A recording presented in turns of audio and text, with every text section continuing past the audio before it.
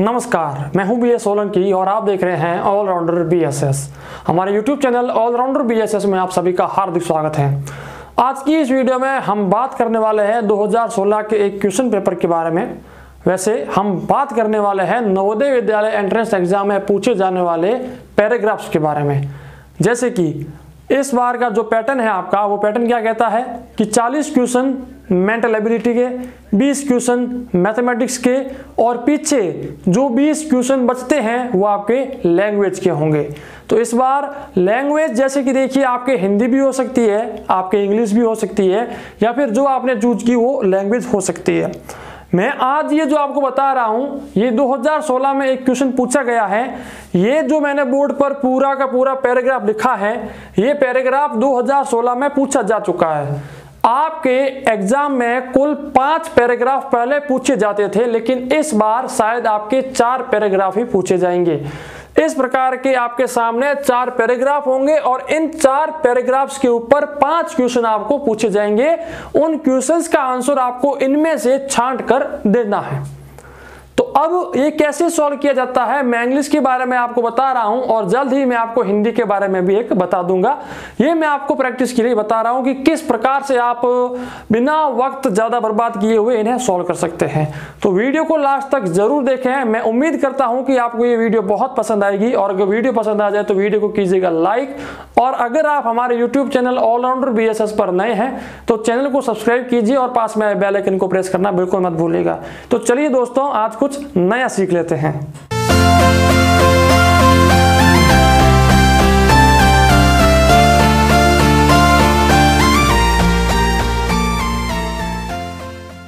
यहाँ पर सबसे पहले मैं आपसे यही कहना चाहूँगा कि अगर आपके पास 2016 का क्वेश्चन पेपर है तो प्लीज़ आप एक बार वो क्वेश्चन पेपर खोल लीजिए। उसमें 2016 का जो क्वेश्चन पेपर है, उसमें आप इंग्लिश का ये वाला पैराग्राफ खोल दीजिए। अगर आपके पास ना हो तो ये बोर्ड पर लिखा हुआ है आपके सामने।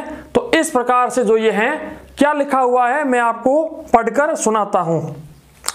क्या लिखा हुआ है? Pinku was walking through a forest. He had a bag of mangoes. After some time, he felt tired. He took shelter under a tree and soon fell asleep. After a while, he felt that someone was trying to snatch his bag of mangoes. He woke up and caught the person. It was a witch who tried to frighten Pinku and ran away. But Pinku was strong and brave. He chased the witch and caught her. The witch removed her mask. He told Pinku that she was a poor and old widow. She had nobody to look after her. Therefore, she used to lie in the forest. She used to wear mask to frighten people and take away their belongings. Pinku took pity on her and gave her the bag of mangoes. तो ये कुछ इस प्रकार से एक छोटी सी घटना लिखी गई है कि पिंकू नाम से एक कोई छोटा सा बच्चा मान लो या फिर कोई व्यक्ति मान लो वो व्यक्ति फॉरेस्ट में जाता है फॉरेस्ट का मतलब क्या होता है जंगल जंगल में जाता है तो उसके पास एक बॉक्स होता है, उसके अंदर मैंगोज होते हैं। मैंगोज का मतलब आम होते हैं। वो जाता है तो बहुत ज़्यादा बॉक्स वो ज़्यादा समय तक जब वो लेके जाता है तो वो थोड़ा सा थक जाता है। तो वो क्या करता है कि एक पेड़ के नीचे जाकर बैठ जाता है तो धीरे धीरे उसको नींद आ जाती है। थोड़े ही वक्त बाद उसको फील होता है, उसको महसूस होता है कि उसका जो बैग है, उस बैग को कोई लूट रहा है। इसका मतलब क्या है? लूटना। उस बैग को कोई लूट रहा है तो वो जो पिंकू था, वो पिंकू उठ जाता है। जैसे ही वो पिंकू उठता है तो एक जो विच थी विच का मतलब क्या होता है? विच एक बहुत ही अच्छा वर्ड है, शायद आपको इसकी मीनिंग ना मालूम हो। विच विच का मतलब होता है डायन। एक औरत होती है, उसको कहा जाता है। तो वो जो होती है, वो पिंकू को पिंकू को फ्राइटन करने की कोशिश करती है। फ्राइटन का मतलब फ्राइटन फ्राइटन का मतलब क्या होता है? बताइए। डराने की कोशिश करती है। और पिंकू से दूर भाग जाती है। But Pinku was strong and brave लेकिन जो पिंकू था, वो बहुत ही मज़बूत और बहादुर था। And he change the witch and caught her मतलब कि जब वो विच वहाँ से भाग रही थी तो पिंकू ने उसका पीछा किया और पीछा करते हुए वो उस तक पहुंचकर उसने उसको कॉट कर लिया मतलब कि उसको पकड़ लिया। फिर क्या होता है? The witch remove her mask यानी कि जो विच थी, उसके मुँह पर एक मास्क था। तो उसने अपने मुँह से वो मास्क निकाल दिया।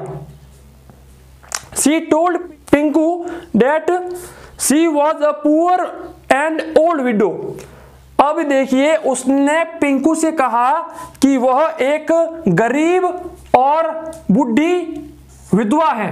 विडो का मतलब विधवा। अब ये क्या होता है? वो औरत जिसके पति की पहले ही मृत्यु हो चुकी है, उसको विडो कहा जाता है या फिर विधवा कहा जाता है। She had no body to took after her मतलब कि जब वो विधवा हुई थी, उसके बाद से उसका रहन सहन करने के लिए या फिर उसकी सहायता करने के लिए कोई भी पीछे नहीं था। फिर क्या होता है? Therefore she used to live in the forest और इसी कारण इसी कारण से उसने जंगल में रहना पसंद किया। She used to wear mask to frighten people और उसने मास्क पहनकर लोगों को फ्राइटन करने की कोशिश की और उनका जो भी सामान है, वो सामान वहाँ से लूटने की कोशिश की। लास्ट में क्या होता है? पिंकू टुक पिटी ऑन हर यानी कि पिंकू जो होता है, वो उस पर भावुक हो जाता है। क्या हो जाता है? भावुक। और वो, जो अपना मैंगो का बैग होता है, वो उस औरत को दे देता है। तो ये एक छोटी सी घटना होती है। तो इसके बारे में यहाँ पर लिखा गया है। लेकिन अब बात यह आती है कि, सर, क्या हमें एग्ज़ाम में इस पूरे पैराग्राफ को पढ़ना पड़ेगा? क्या ऐसी कुछ शॉर्टकट है जिससे कि हम वो पाँच क्वेश्चन इजीली सॉल्व कर सकें? तो सबसे पहले तो देखिए, सबसे पहला क्वेश्चन क्या पूछा गया है? क्वेश्चन ये पूछा गया है why did Pinku take shelter under a tree मतलब कि पिंकू ने पेड़ के नीचे विश्राम क्यों किया?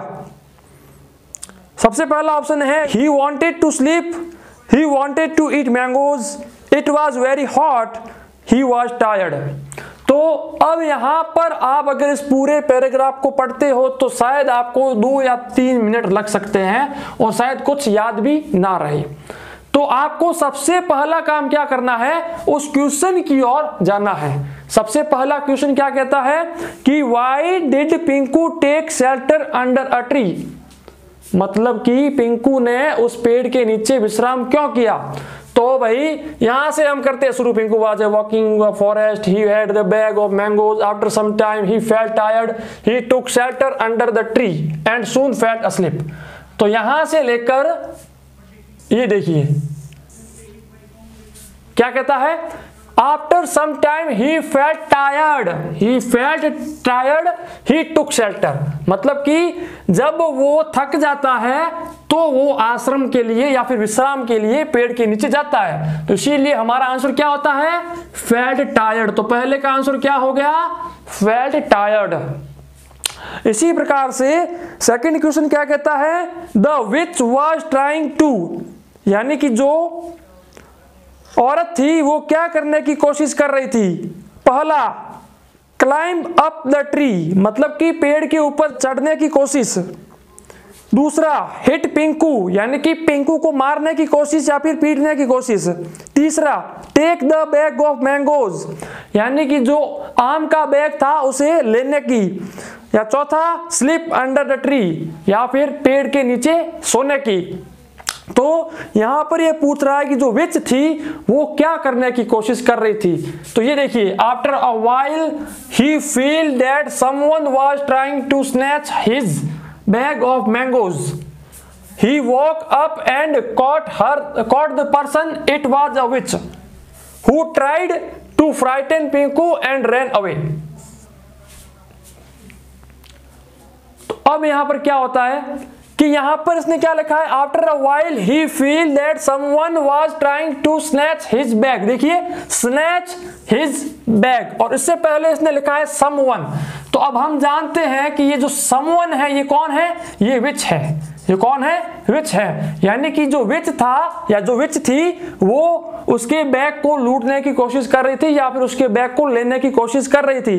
तो यहाँ पर यही पूछ रहा है कि जो विच थी, वो क्या करने की कोशिश कर रही थी? तो इसका ऑप्शन होगा तीन नंबर वाला। मतलब कि दूसरे क्वेश्चन का आंसर ये होगा।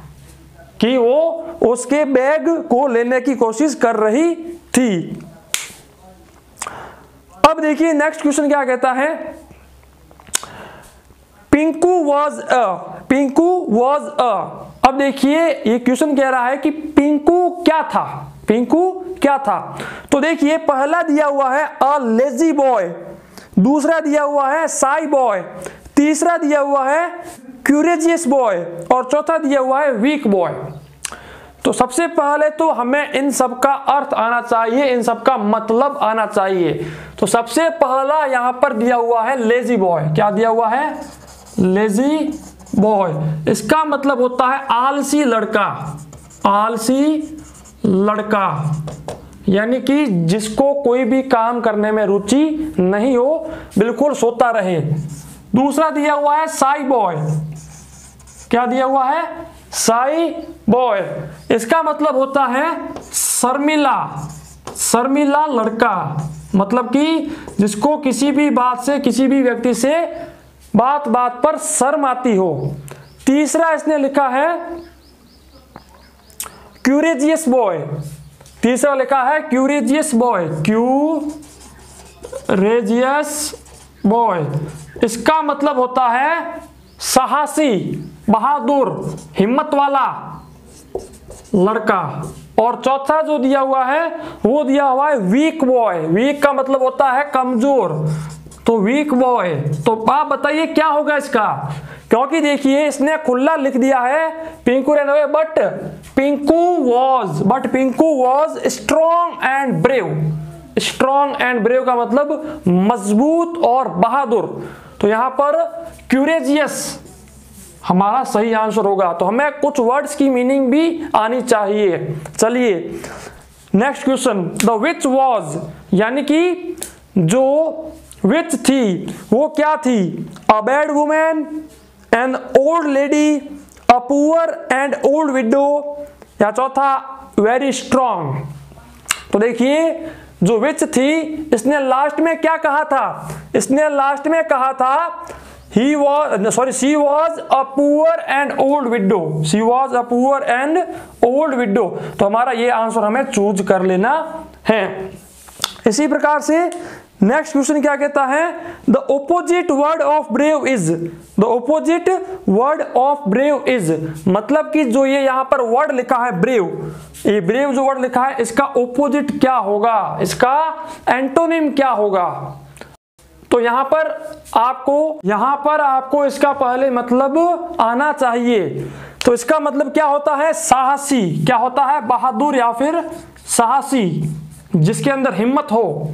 तो इसका उल्टा क्या होगा? जिसके अंदर हिम्मत ना हो, जो जो साहसी ना हो। तो यहाँ पर चार वर्ड दिए हुए हैं। सबसे पहला जो वर्ड दिया हुआ है, चलिए मैं यहाँ से इसको मिटाता हूँ थोड़ा सा।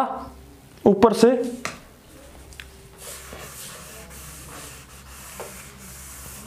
वीडियो को लास्ट तक आप ज़रूर देखिएगा। मैं एक और चीज़ भी आपको इसमें बताऊँगा कि आपको इसे कैसे शॉर्टकटली सॉल्व करना है। सबसे पहला वर्ड लिखा है जेंटल। दूसरा वर्ड लिखा है क्वाड। क्या लिखा है? क्वाड।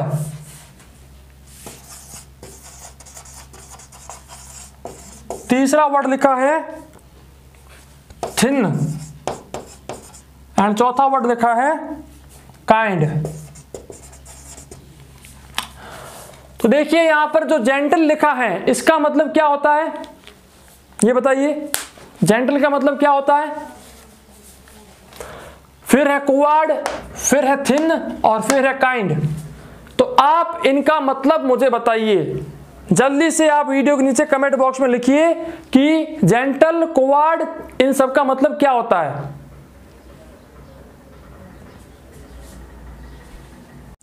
यहाँ पर जेंटल का मतलब होता है सज्जन व्यक्ति कुवार्ड का मतलब होता है कायर व्यक्ति, और छिन का मतलब होता है पतला, और काइन का मतलब होता है दयालु। तो यहाँ पर आप देख सकते हैं कि जेंटल इसका मतलब क्या है? सज्जन व्यक्ति, यानी कि जो शांत व्यक्ति रहता है, हर काम में अच्छा रहता है, उसको कहा जाता है सज्जन। लेकिन यहाँ पर हमसे क्या पूछा गया है कि ब्रेव का उल्टा क्या होगा? ब्रेव, जो ब्रेव लिखा है, जिसका मतलब होता है बहादुर। तो बहादुर का उल्टा हमेशा क्या होता है? कायर। और यहाँ पर इसका जो वर्ड है, वो है क्वाड क्वाड का मतलब होता है कायर. तो हमारा आंसर बी सही हो गया. तो अब आपको वहाँ पर कैसे करना है? देखिए, परीक्षा में क्या करना है आपको? परीक्षा में ये करना है कि पहले तो आप पैराग्राफ को, अगर आपको पैराग्राफ समझ में आ रहा है तो एक या दो मिनट में आप पैराग्राफ पूरा पढ़ लो. आराम से फटाफट पढ़ लो, ऐसे कि वाज ऐसे ऐसे, जो भी है, एक बार आप पूरा पढ़ लो. फिर उसकी अगर मीनिंग आपको आ रही है तो मीनिंग आप निकाल लो। फिर आपको क्वेश्चन की ओर जाना है। जैसे ही आप क्वेश्चन पढ़ते हो तो आपके माइंड में ऑटोमेटिकली वो चीज़ आ जाएगी। जैसे कि सबसे पहला जो क्वेश्चन था, वो क्या कह रहा था? Why did Pinku take shelter under a tree मतलब कि पिंकू ने पेड़ के नीचे आश्रय क्यों लिया, या फिर वो वो वहाँ पर विश्राम क्यों करने लगा?